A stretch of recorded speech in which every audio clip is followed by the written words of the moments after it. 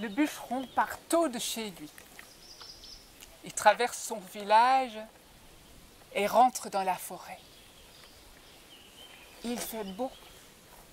Le soleil s'est à peine levé, mais déjà il voit la lumière traverser le feuillage, les ombres danser sur le chemin devant lui.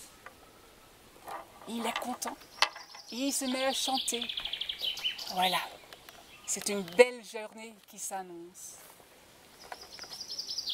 Il est tout heureux comme ça quand tout d'un coup il a entendu un frôlement dans les herbes sur le côté de la route.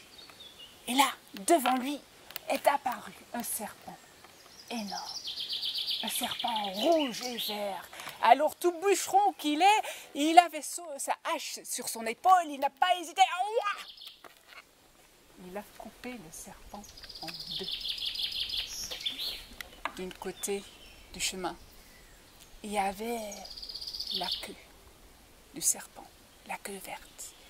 De l'autre côté du chemin, la tête, la tête rouge.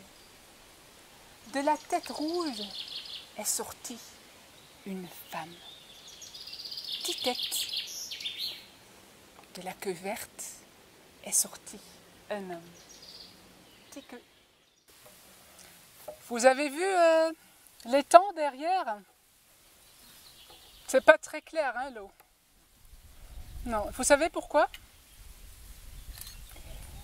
Je ne sais pas si vous êtes au courant de ça, mais euh, à peu près tous les, cours d'eau, tous les, tous euh, étendues d'eau un peu comme ça, eh bien, ils ont dans leurs eaux un maître des eaux.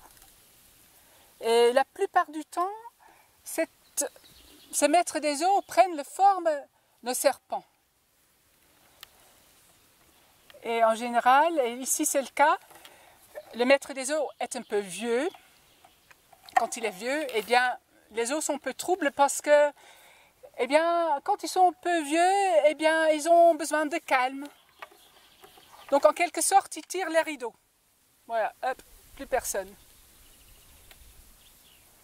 Il n'est pas méchant, hein, mais il ne faut pas perturber ses os, hein, pas inutilement.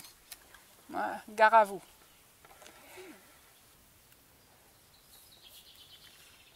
L'enfant se met à bailler. La fille demande T'as sommeil peut-être Elle se couche avec lui sur son lit. Et la belle, elle s'endort. Mais le petit, pas du tout. Il a les yeux grands ouverts et un grand sourire sur son visage. Il se met à grandir, à grandir, à s'allonger. Et à ses jambes, son tronc qui commence à s'allonger de plus en plus, son cou qui commence à s'allonger. Il y a des écailles qui commencent à apparaître sur son corps, des écailles de mille couleurs. Et il commence à s'enrouler autour de la belle, autour du lit. Il commence à même... Euh, il est tellement immense, il s'agrandit tellement qu'il remplit toute la pièce.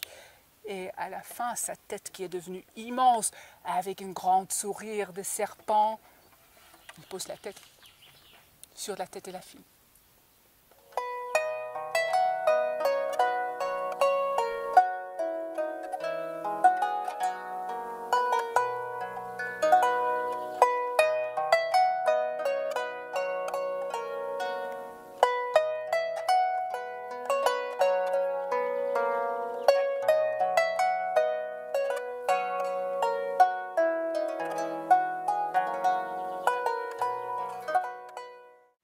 La lumière passe à travers les feuilles et les petites ombres dansent devant eux sur le chemin.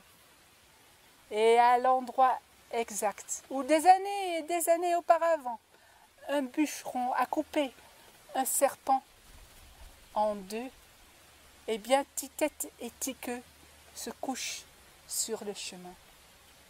Et là, il n'y a plus de corps il n'y a qu'un corps de serpent, un corps de serpent rouge et vert, et qui lentement disparaît dans les eaux herbe de la forêt.